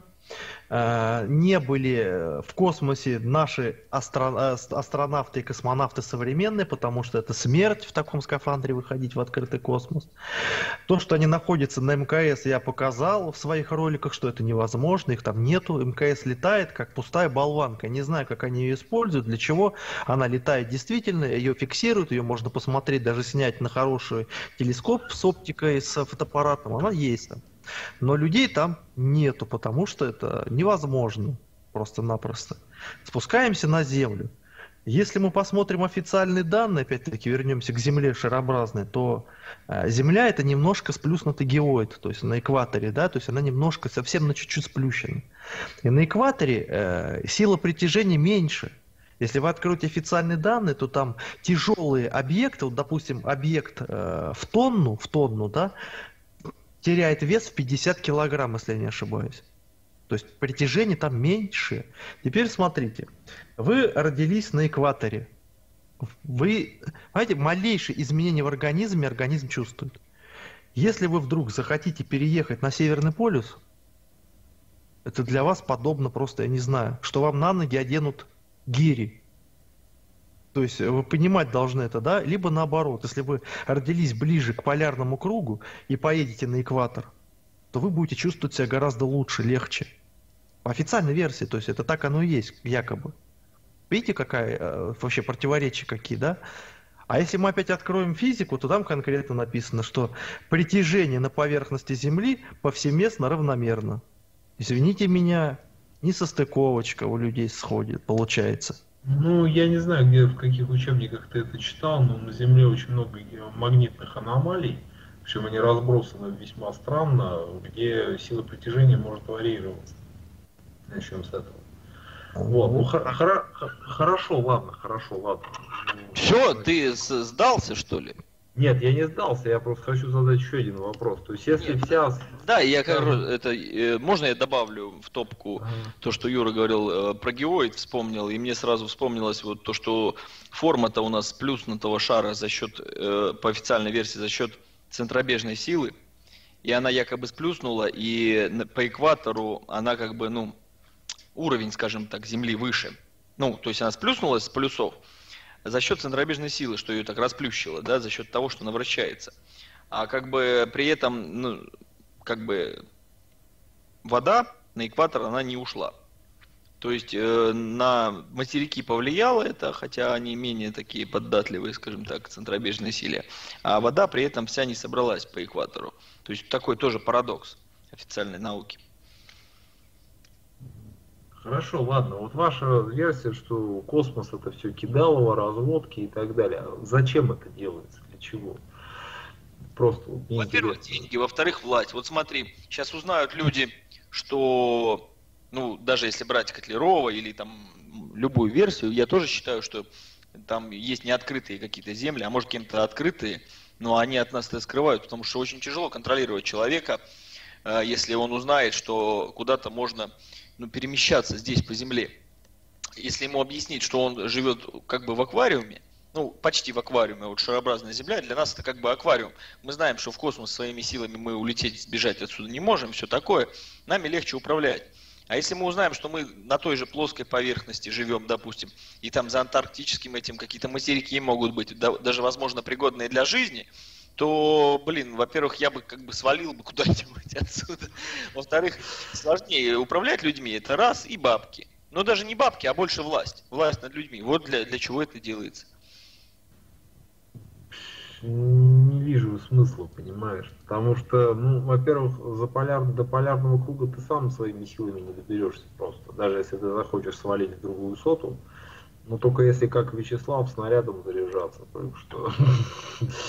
Вот, просто. Нет, нет, тут какой-то другой немного. Понимаешь, то, что НАСА предлагает какие-то другие снимки там и так далее, я с этим даже согласен. Но я не считаю, что они уж совсем... Они скрывают какие-то факты да, это я не спорю даже с этим, понимаешь?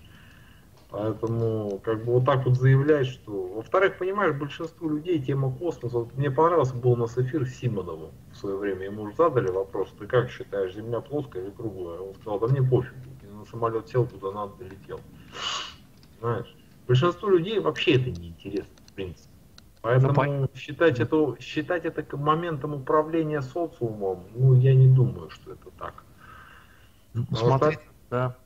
А, Если, э, то есть для тебя не важно, какая земля, зачем ты этот вопрос изучаешь? Нет, для меня это важно, я говорю про большинство.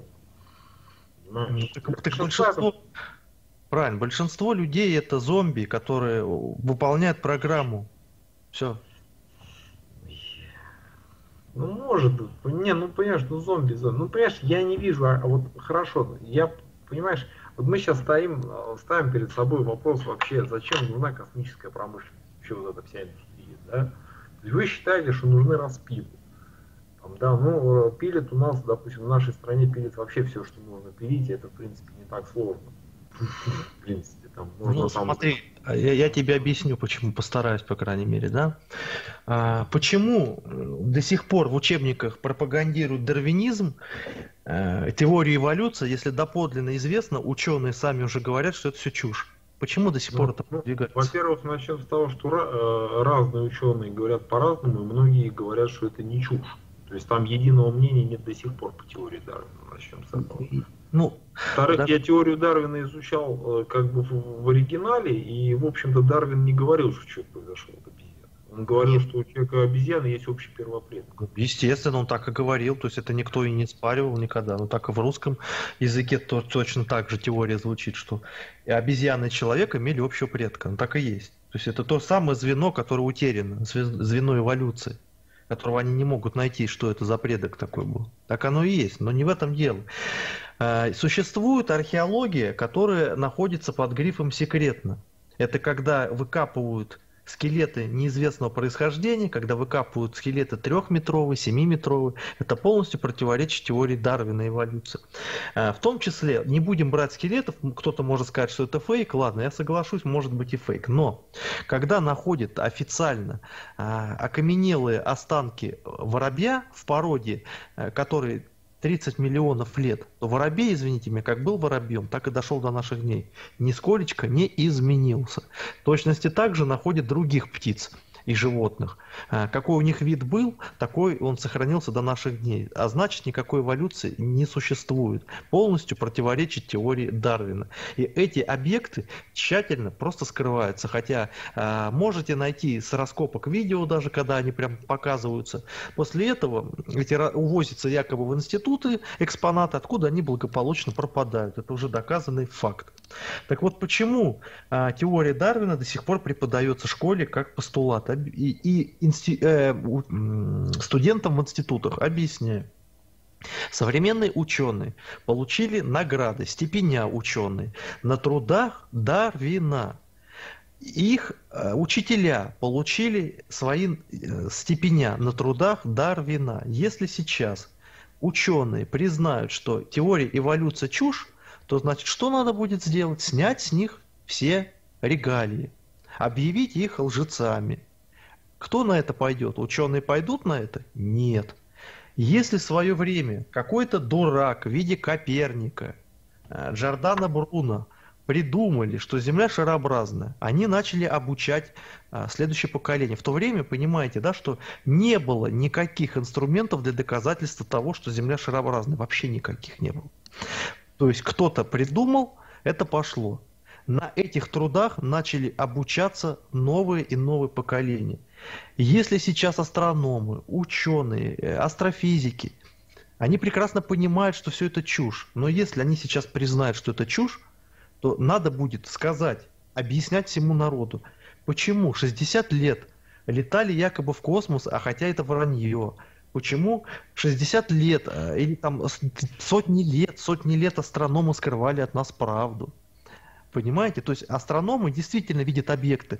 Существование космоса, как ни странно, никто из нас не отвергает. Космос есть. Это чушь говорит, что его нету. Он есть. Но он не изучаем людьми. Туда нельзя попасть. Люди не могут туда попасть. Даже техника туда попасть не может. Понимаете? В чем разница? Поэтому, если сейчас признать, что все это фикция, это надо будет, это поднимется такой резонанс мирового масштаба, Люди начнут задавать вопросы, зачем вы нас обманывали, куда деваются деньги, налоги. Это страшная вещь, никто на это не пойдет на уровне Академии наук. Вот и все. В этом весь и расклад. Пошло от одного, и остановиться уже нельзя этому останавливаться, потому что иначе полный крах. Всему полный крах. Вот и весь ответ на вопрос. Ну, то есть, грубо говоря, ты хочешь сказать, что когда-то там был придуманы ну, несколько, скажем так, псевдотеорий, там типа той же теории эволюции, там ля-ля поля, космос, там потом создали целую индустрию, якобы фейковую, да. Вот, ну, понимаешь, ну, понимаешь, флаг в руки, барабан на шею. Если у тебя, понимаешь, проблема-то вся в том, что сторонники, ну, те, кто реально работает в этой индустрии, они о существовании вас зачастую даже не знают. До вас вообще до лампочки. На вас никто не охотится, вас никто не устраняет, если вы как бы людям бизнес ломаете. Совершенно открыто заявляете об этом и так далее. Это говорит о том, что, наверное, они все-таки уверены в. Нет, это знаешь, о чем говорит? Ну, то, что люди пропадают, это неправда, не пропадают, пропадают. В последнее время я не могу найти двоих альтернативщиков, они просто исчезли, каналы удалены, это очень странно на самом деле, хотя они поднимали достаточно серьезные темы. Да ладно, пускай это сами удалили, пускай это мистификация, не буду а, на этом заострять внимание. Теперь дальше, да. Насчет того, что за, про нас не знают, чушь собачья, про нас все знают.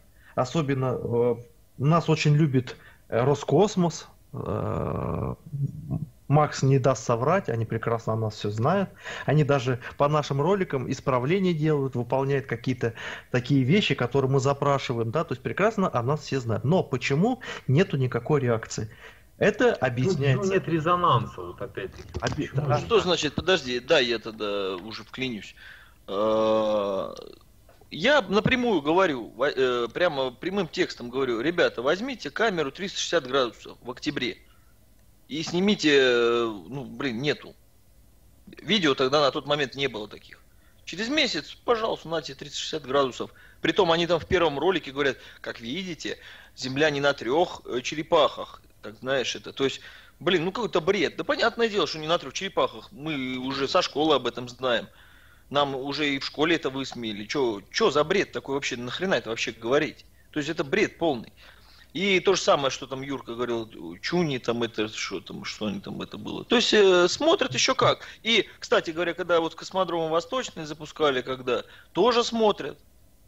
Это сто процентов, потому что когда первый ролик был, опровержение, там, ну, все писали, Стрэнджер делал, и я потом делал, э, и я им просто задал вопрос, э, говорю, ребята, возьмите, э, где видеозапись с камеры на корпусе? Что ты думаешь, через неделю это видео выложили на канале Роскосмоса? Они, э, ты думаешь, они не следят? Еще как следят. И когда ты такие вот серьезные темы затрагиваешь, сразу прибегают тролли, а, и то же самое, когда начинаешь фейки разоблачать вот этих вот постановочных, непонятных э, исчезновений самолетов или постановочных вот этих вот крушений, катастроф, сразу прибегают вот эти тролли, там их, наверное, не знаю, сотнями, там, тысячами эти тролли прибегают. И сразу начинают тебе там четко, четко по программе, прямо как вот им, там, им дают задание, и они тебе четко, четко начинают троллить. Причем довольно-таки профессионально. Вот. А ты говоришь, э, всем без разницы. Э, люди прекрасно знают, что это меньшинство рано или поздно станет большинством. Они прекрасно понимают. Потому что оно распространяется. Вот смотрите, что произошло с той же плоской землей за год. В русскоязычном вот нашем сегменте ничего было тихо как-то, особо эта тема, но она была как бы в таком зачаточном состоянии. Сейчас стали мы ее поднимать, сейчас, блин, все уже сталкиваются с этим, все уже прикалываются, говорят, блин, да как же так, где киты, где черепахи. Поэтому вы не думайте, что все так просто, и люди наблюдают. Но смотрите, почему нет такого резонанса, да, с их стороны, почему нету никакого серьезного сопротивления, объясняется очень просто. Критическая масса. Пока что мы в своем роде ну, имеем, пускай по, по максималке, а, по такой тематике от 50 до 100 тысяч просмотров. Это ни о чем, понимаешь? А, если мы посмотрим ролики запуска ракет, ролики а, научные там по Discovery, по другим каналам, где показывают планеты, космос, запуски, МКС, миллионы, миллионы подписчиков и миллионы просмотров десятки миллионов. Критическая масса на их стороне. То есть мы, по сути дела, э, просто для них ну, не создаем никакой проблемы, потому что 100 тысяч человек, которые посмотрели, это тьфу, против миллионов, которые э, до сих пор придерживаются официальной науки. Поэтому пока что критическая масса на их стороне, они не будут предпринимать каких-то активных действий против нас.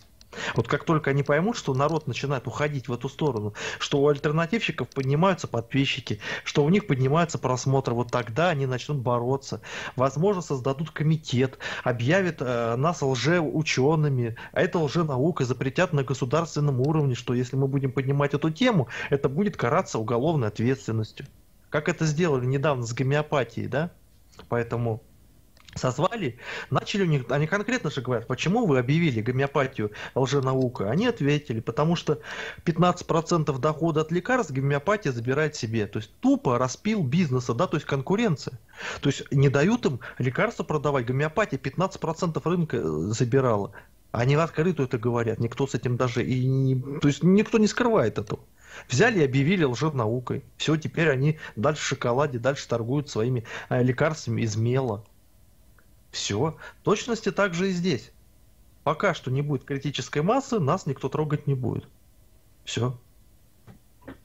Ну, еще два момента, почему не трогают. Вот, допустим, сотовую землю Котлярова опасно трогать, по той простой причине это пойдет резонанс. Я, честно говоря, и сам бы рад бы исчезнуть бы с завтрашнего дня навсегда в любом направлении, чтобы а в этой соте от меня ни слуху, ни духу не осталось. И тогда знание, как говорится, пойдет это в массы. Знаете, как той песни, это пока поэт, как говорится, живой, его никто не слушает. Как только уходит в мир иной, сразу идет резонанс. Не будут трогать, причем половина просмотров, э, даже 80% просмотров этих роликов, это люди не принимают. Делим на двое, на двое просто поржать, хихикают. То есть мозг человеческий настолько современного примитивный, когда мы говорим понятные вещи, их принимают всего лишь только 2% зрителей, которые нас слушают и смотрят. Передаю слово.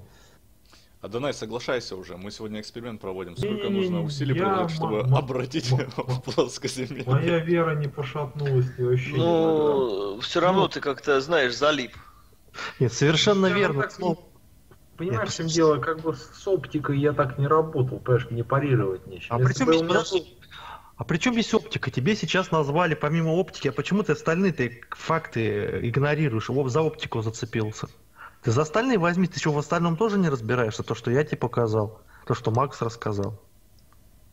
Ну, про спутники, ну, как бы, то есть твоя теория, что все по вышкам вся связь идет, ну, как-то не знаю. Вступай в нашу я, Понимаешь, я, я людей знаю, которые спутники запускали, лично. Ну и что? Ну и что? Как они запускаются, мы прекрасно тоже видели, это до смешного доходит. Есть данные, есть съемки, как их запускают на шарах. Болванки эти с крыльями. Все это есть прекрасно в доступе в открытом. Возьми, посмотри. А когда их взяли за это, когда резонанс поднялся, они сказали, так это мы спутники другие запускали, около Земли, они на высоте там 30 километров всего летают. Вот и все. Ну, есть, есть такие. Метео, метеозонды, слышь, они называют метеозонды. Во. Там, там такие балдушки с метеозонды с крыльями. А зачем солнечные батареи на них тогда? Вопрос тогда такой. Зачем солнечные батареи на них тогда? Если они летать будут в пределах 30 километров всего. Ну, да, в пределах, ну, или, или до облаков даже. Ну, хотя, ладно, 30 километров тоже выше облаков. Ну, банально потому, что как бы они могут летать длительное время, им нужна подпитка солнечной батареи. Почему так, нет? Так, так вот это тебе. А теперь вопрос. Еще раз, когда э, всем такой вопрос как бы несколько раз я задавал. В Google Earth ни одного спутникового снимка Земли нет. Вообще нету. То есть все, что там ты видишь сверху, это аэрофотосъемка. А почему нету тогда спутниковых снимков хорошего качества Земли? Почему аэрофотосъемка используется? Понимаете, вот, вот вам простой факт, что все, нету никаких спутников, которые летают и фотографируют Землю. Нету. Это, ну, это, ну, это не довод, ребят. Ну... То есть как это не довод? То есть, понимаешь, я тоже могу сказать, на любой вопрос там а, люди, которые говорят, что Земля сферическая, начнут мне формулы говорить, да, конкретно по формуле, скажу, так это не довод, что вы мне тут формулы? Так ты так и говоришь, по сути, я твои видосы смотрел, понимаешь. И то, что там все космонавты, масоны, там какого-то определенного даже градуса, там Ты, говорил. ты, ты до сих пор веришь, что бабка с 57 лет сейчас находится на орбите? Ну а почему бы нет? Ну, вопросов нет. Ты предполетную подготовку видел? Мой ролик хотя бы Видел. там. Ну, ты, то есть ты веришь, что она 15 минут на кресле крутится? Ну, люди бывают разных возможностей, в разном Ну, возрасте. знаешь, Я знаю, людей, тобой- я знаю людей под 60 килограмм, которые там бегают быстрее молодых, знаешь. Ты, ты, ты, с тобой разговор бесполезен, потому Юра, что... точно, да, ты Просто- прав. Это просто- я робот. Мне только что пришло сообщение, что это вообще не человек. У Нет, нее нет. нет фамилии, ни лица. Докажешь, что ты человек, будем с тобой разговаривать. А поэтому не перебивай уважаемых людей и веди себя культурно. Вот и все. Смотри, я просто хочу сказать вот да, разговор с таким человеком бесполезен, потому что он понимает, что в мире что-то не то, но в программа у него в голове та, что ну, врать-то мне не могут, но в учебниках же так написано. Он никогда не сознается, пока, пока сам не начнет проверять все на своих опытах. Вот когда он начнет проверять все на своих опытах, тогда он начнет пон- по- понимать, что в мире что-то не то. Если он говорит, что нас, нас обманывают, то стоит задуматься, а почему обманывают, зачем обманывают. Вы начните копать, для чего они нас обманывают, в каком роде они нас обманывают, по какому факту они нас обманывают. И тогда все станет на свои места. С этого все надо копать начинать. Почему обман-то идет? Понимаешь, Понимаете? Юр, я тоже могу предположить, что весь ваш проект плоской земли, он там финансируется, кем-то вы получаете деньги и так далее. Вопрос тут Ну, мне непонятно для чего. Теперь смотри, теперь Хочу смотри. денег, блин, А. дайте мне денег кто-нибудь за плоскую землю, пожалуйста. Нет, тут не в этом дело. А, вот сейчас, если вот просто вопрос где такой, если я сейчас тебе дам кучу денег и скажу, и скажу тебе, докажи всем по интернету, что квадрат это круг. Ты сможешь это сделать? Я Понимаешь, тупо. Ну, Правильно. А знаешь, почему не сможешь? Потому что это невозможно доказать, если у тебя нет знаний. То есть, если мне дадут, дали, допустим, на твое усмотрение денег и Максу, докажите, что Земля плоская, а ты попробуй докажи, если у тебя нет аргументов. Если у людей есть аргументы, то извини меня, это ни за какие деньги ты их не купишь. Аргументы, они аргументы, их надо знать. Их надо уметь подавать, против- противопоставлять аргументам людей, которые верят, что Земля шарообразная. Это же не просто так. Или ты думаешь, что если тебе дали деньги, ты появ- у тебя сразу раз сверхспособности появились, и ты можешь на любой э, вопрос дать ответ. Так, по-твоему? Нет, Но, с конечно. другой стороны, первые ролики на тему вот, теории плоской Земли, они же пришли с Запада. То есть это были западные какие-то модели компьютерные, где там показывали, что там Луна, Солнце там друг за другом летают по плоскости там, и так далее. Вот, там, то, что я Ты- видел. Вот есть был послушай, какой-то Посмотрите, сейчас скажу, пока ты не договорил сразу, да. А, моя позиция такова, вот я тебе еще раз говорю. Моя позиция только в одном. Я считаю, что Земля не имеет форм шара, и она статична. Форму Земли я не знаю. Я не утверждал никогда ни в одном ролике, что Земля плоская. Я себе такого позволить не могу, потому что я усматриваю много противоречий. Но утверждать то, что Земля стационарна на данный момент я могу, и то, что она не имеет форму шара. Все. Вот позиция какова моя. ну, понятно. Плоскоземельщика меня приравнивать не надо, потому что я э, твою- свою позицию сразу сказал людям, я не плоскоземельщик, я человек, который просто исследую э, всевозможные теории. То есть я полую землю, внутреннюю землю знаю, там, да, вогнутую землю, э, шарообразную землю, плоскую землю. Просто изучаю и смотрю, какая из них более-менее подходит. На данный момент э, вот это все привело к тому, что все-таки я убедился на своем опыте, что нам врут в форме Земли. Вот, вот это факт. В форме Земли нам врут. А по поводу освещения, э, вот именно то, что фото освещение облаков снизу, облака-то они просвечиваться могут. Вот в чем фишка. То есть э, даже если, вот как они говорят, что типа э, Солнце, э, тут если версию плоской Земли брать, то получается Солнце под облаками, раз они снизу подсвечиваются. Но они забывают о том, что облака, э, они прозрачные. Это не какой-то, это ж не, если бы это был какой-то вот, блин, как же объяснить? И плюс, опять же, сама перспектива, если вот взять, ты летишь, а рядом с тобой летит самолет, и он как бы будет подсвечиваться вроде снизу, но если он э, ближе к тебе, а ты будешь ниже него, то ты увидишь как бы подсвечивание снизу. Но опять же, смотря на какой высоте ты от облаков зависишь. Это, я думаю, даже в этих в программах можно, в 3D-программах смоделировать, как э, на плоскости именно идет распространение лучей, если перспектива, если источник света очень далеко. То есть, ну, я думаю, даже, может, Юра что-то добавит. Вот. Поэтому тут э, однозначно по этому фото говорить, что там облака подсвечиваются снизу, и значит Земля шарообразная здесь, ну, Просвечивание идет, просвечивание облаков, это, это моя версия. Юр, что ты скажешь? Ну, смотри, я просто сейчас хочу так немножко людей потроллить, да, если честно, в, в стиле науки. Смотрите, как бы наука нам что говорит, да, вот смотрим на Луну, Луна ярко светится. Когда задаешь вопрос, а почему оно так ярко светится, нам что говорят? Луна отражает солнечный свет. До 10% солнечного света отражает. И всех это устраивает, правильно? То есть никто не задает вопросы. Луна так ярко светится, потому что песок на Луне отражает солнечный свет. Вопросов нет. Хорошо, раз в это верим мы, тогда я делаю такой вот ход. То есть почему облака светятся? Потому что Солнце а, Облака в основном светятся над теми местами, где есть озера и моря ну даже речки. Солнце попадает, э, которое ушло практически, стало ниже облаков, да, на закате, попадает, отражается солнечный свет от воды и попадает на облака. А почему вы это не поверите вы, допустим, если же вам сказали, что Луна э, отражает солнечный свет?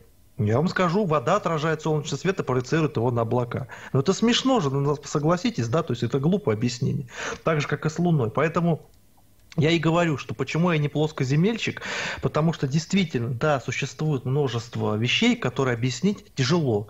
Я не говорю, что их нельзя объяснить в принципе, но тяжело объяснить. Поэтому э, моя позиция такова, что на данный момент я все-таки никогда не утверждал и до сих пор не готов утверждать, что Земля это плоский диск диаметром 40 Э, тысяч километров. Но никогда не утверждал и не готов пока об этом сказать. Э, я на данный момент еще раз скажу, что форма Земли мне неизвестна. И многие факты, происходящие э, визуально, которые мы можем увидеть, они могут быть как и иллюзорные, да, то есть Макс показывал в ролике прекрасно, как иллюзию можно сделать при помощи объектов любых, видимую иллюзию, да, визуальную. И все-таки я говорю, что все-таки, да, я говорю еще раз, что Земля пока что на данный момент, по моему убеждению, форму имеет такую, которую мы не знаем. По крайней мере, я не знаю.